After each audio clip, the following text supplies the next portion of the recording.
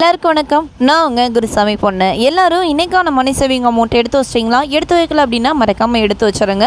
இன்னைக்கு நம்மளோட நாற்பத்தி ஒன்றாவது நாள் சேமிப்பு. தொடர்ந்து கண்டினியூவாக ஒரு நாள் கூட மிஸ் பண்ணாமல் உங்ககிட்ட வந்து ஷேர் பண்ணணும் அப்படின்னு நினச்சேன். ஆனால் இப்போ வரைக்கும் ஒரு ஆறு நாள் வந்து என்னால் பண்ண முடியலை. நாங்கள் திடீர்னு வந்து ஊருக்கு வர வேண்டிய சுச்சுவேஷன் வந்ததுனால ஊருக்கு வந்தாச்சு. என்ன அப்படின்றத சீக்கிரமாக நான் உங்ககிட்ட வந்து ஷேர் பண்ணுறேன் ஒரு நல்ல விஷயம்தான்.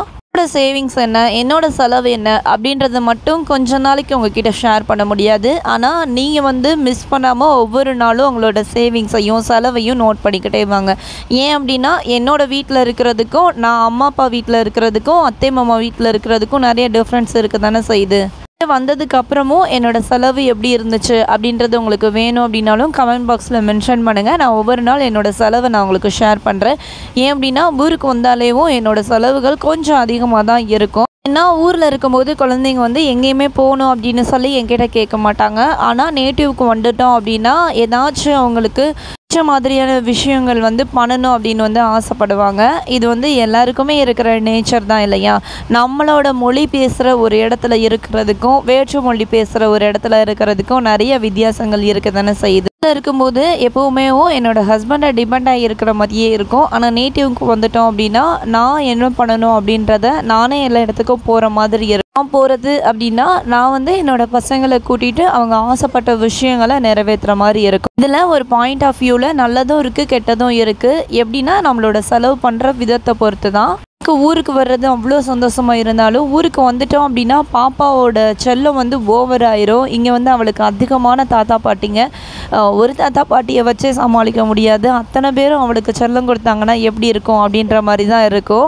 மாதிரி உங்களோட குழந்தைங்களும் ஏதாச்சும் சேட்டை பண்ணாங்க அப்படின்னா ஷேர் பண்ணுங்கள் நாங்களும் தெரிஞ்சுக்கிறோம். அந்த விதத்தில் தான் நேற்று வந்து எக்ஸிபிஷன் போனோம். அதை தான் இப்போ உங்ககிட்ட ஷேர் பண்ணிக்கிட்டு இருக்கிறேன். எக்ஸிபிஷன் போகிறது எல்லாமே ஓகே தான். ஆனால் அங்கே போய் ஆக போகிற செலவு இவங்க அடம் பிடிச்சாங்க அப்படின்னா எப்படி இருக்கும் அப்படின்றது நமக்கு தான் தெரியும். போகும்போது என்னவோ இவ்வளோ தான் பட்ஜெட்டு இத்தனை தான் நீ பண்ணணும் அப்படின்னு சொல்லி கூட்டிகிட்டு தான் போவோம். போனதுக்கு அப்புறம் தான் தெரியும். பார்க்குற அத்தனையும் இது வேணும் அது வேணும் அப்படின்னு கேட்கவும் செய்வாங்க. அது மட்டும் இல்லாமல் இதில் ஏற்றி விடுங்க அதில் ஏற்றி விடுங்க அப்படின்னு சொல்லவும் செய்வாங்க. மாதிரியான என்டர்டைன்மெண்ட் பிளேஸுக்கு குழந்தைங்களை கூட்டு போகிறது வந்து பட்ஜெட் அப்படின்ற ஒன்றை எதிர்பார்க்கவே முடியாது. பட்ஜெட் படி அது நடக்கவும் நடக்காது. எத்தனை பேருக்கு இந்த அனுபவம் இருக்குது அப்படின்றத ஷேர் பண்ணுங்கள் பெரிய ராட்சச பலூன் மாதிரி இருக்குது பார்த்தீங்களா இதில் தம்பி ஏறணும் ஏறணும்னு சொல்லி ஒரு வழியாக மேலேயும் ஏறிட்டான் ஏறினதுக்கு அப்புறம் ஒரே ஒரு சறுக்கில் வந்து ஏறிட்டு என்னாலாம் போக மாட்டேன் அப்படின்னு சொல்லி உட்காந்து அப்போது இதுக்கு நம்ம அமௌண்ட் பே பண்ணோம் அப்படின்னா லாஸ் தானே. அன்னைக்கு என்னமோ எங்களுக்கு ஒரு லக்கு பையன் நம்ம ஊருக்கார பையனாக இருந்ததுனால அதுக்கு உள்ள அமௌண்ட்லாம் அப்படியே இந்த காரில் ஏற்றி விட்டு கொஞ்சம் நேரமாக சுற்றி இவனை சந்தோஷப்படுத்திட்டு இருந்தான். கொஞ்சம் கம்மி அப்படின்றதுனால பண்ணனா. அவனோட எக்ஸ்பீரியன்ஸையும் இங்கே ஒர்க் பண்ணுற அனுபவத்தையும் ஷேர் பண்ணிக்கிட்டான். ஒரு நாளைக்கு அவனுக்கு சேலரி வந்து எண்ணூறுபாயா மணிலேருந்து பதினோரு மணி வரைக்கும் தான் அக்கா எனக்கு வந்து வேலை. இது ஒரு நல்ல வேலை தானே அக்கா. இவங்க வந்து கேரளாலேருந்து இங்கே வந்து பண்ணிகிட்டு இருக்கிறாங்க. அவங்கன்னா இந்த எக்ஸிபிஷன் நடத்துகிறவங்க அப்படியே நானும் கேரளாவுக்கு போகிறதா இருக்கிறேன் அப்படின்னு சொல்லி அவனோட குட் எக்ஸ்பீரியன்ஸ் வந்து ஷேர் பண்ணினா. ஒருத்தவங்கள பார்க்குறதுக்கும் கொஞ்சம் கஷ்டமாக தான் இருந்துச்சு. ஏன் அப்படின்னா அந்த ராட்டம் எல்லாமேவும் இவங்களோட ஓன் ராட்டினமாக இருந்துச்சு.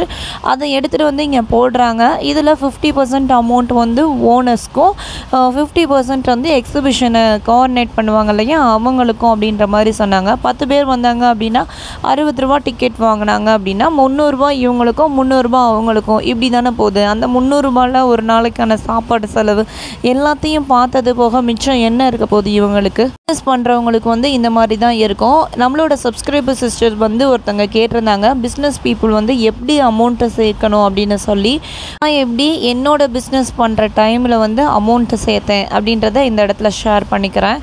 ஒரு நாளைக்கு எவ்வளோ இன்கம் வருது அப்படின்றத பார்ப்பேன். அன்னைக்கு நாளோட எண்ணில் வீட்டுக்கு அமௌண்ட் எடுத்துகிட்டு போவோம் இல்லையா? அப்படி எடுத்துகிட்டு போகும்போது அடுத்த நாள் ரொட்டேஷனுக்கு சம் அமௌண்ட்டு அன்னைக்கான அன்னைக்கான சேவிங்ஸ் அமௌண்ட்டை எப்படி எடுத்து வைப்பேன் அப்படின்னா கடையில் இருக்கிற பர்டிகுலர் ஐட்டம் இருக்கும் இல்லையா? ஏதாச்சும் ஒரு ஐட்டமை வந்து ஃபிக்ஸ் பண்ணிக்குவேன்.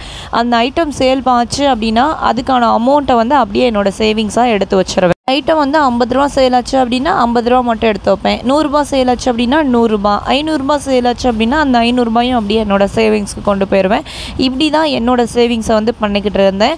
இதை இன்னும் கொஞ்சமேவும் மாற்றியும் பண்ணலாம். ஐநூறுரூபா அப்படின்னா ஐம்பது ரூபாயை உங்களோட சேவிங்ஸாக எடுத்து வைக்கலாம். ஆயிரரூபா அப்படின்னா நூறுரூபாயை உங்களோட சேவிங்ஸாக எடுத்து வச்சுட்டு மிச்சம் இருக்கிற தொள்ளாயிரம் ரூபாயை உங்களோட ரொட்டேஷனுக்கு யூஸ் பண்ணலாம். இப்படி தான் பணம் சேர்க்க முடியும்? எல்லா பணத்தையும் ரொட்டேஷனுக்கு யூஸ் பண்ணிக்கிட்டே இருந்தோம் அப்படின்னா என்ன வருது என்ன போகுது அப்படின்றத எப்போவுமே நம்மளால் ஒரு கணிக்க முடியாது. அதே மாதிரி ஒரு ஷாப் வச்சு ரன் பண்ணுறவங்க வந்து அவங்களோட பர்சனல் யூஸ்க்காக ஏதோ ஒன்று வந்து அந்த ஷாப்லேருந்து வாங்குறதா இருக்கட்டும் இல்லை ஏதோ பயன்படுத்துகிறதா இருக்கட்டும் அது வந்து எப்படி வேணாலும் இருக்கலாம் நம்ம பர்சனல் யூஸ்க்காக அப்படி ஆகும்போது அதுக்கான பணத்தை வந்து நீங்கள் ஆட் பண்ணணும் உங்களோட பிஸ்னஸில் தான் உங்களுக்கு வந்து தெரியும் எவ்வளோ வந்து உங்களுக்கு கெயின் கிடைக்கும் அப்படின்னு சொல்லிட்டு. இல்லை அப்படின்னா நீங்கள் பர்சனலுக்கு யூஸ் பண்ணுற அமௌண்ட்டை தனியாக எடுத்து வைக்கலாம். இப்படி கூட வந்து அந்த சேவிங்ஸை பண்ண முடியும் நம்மளால்.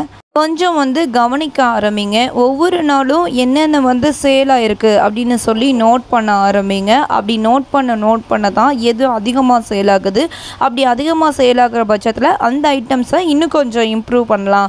இம்ப்ரூவ் பண்ணுறதோடு மட்டும் இருந்துடாமல் அதில் எப்படி நம்ம இனோவேட்டிவாக இன்னும் கொஞ்சம் நல்லா பண்ண முடியும் அப்படின்னு சொல்லி நம்மளால் யோசிக்க முடியும். பிஸ்னஸ் பண்ண ஸ்டார்ட் பண்ணிட்டீங்க அப்படின்னா முழுக்க முழுக்க உங்களோட அனுபவம் மட்டும்தான். எந்த அளவு நீங்கள் அனுபவத்தை கேதர் பண்ண ஆரம்பிக்கிறீங்களோ அதுதான் உங்களை வந்து டாப் லெவலுக்கு கொண்டு போக ஆரம்பிக்கும். ஆனால் ஒரே நாளில் அசுர வளர்ச்சி அடையணும் அப்படின்லாம் எதிர்பார்க்காதீங்க. கொஞ்சம் கொஞ்சமாக படிப்படியாக உங்களால் முன்னேற முடியும். நான் எப்படி நான் பிஸ்னஸ் பண்ணும்போது அமௌண்ட்டை சேர்த்து என்னோட கடன் அடைச்சேன் அப்படின்னு சொல்லி நான் நிறைய வீடியோஸில் உங்களுக்கு ஷேர் பண்ணவும் தான் செஞ்சுருக்கிறேன். வேறு ஏதாச்சும்னா கமெண்ட் பாக்ஸில்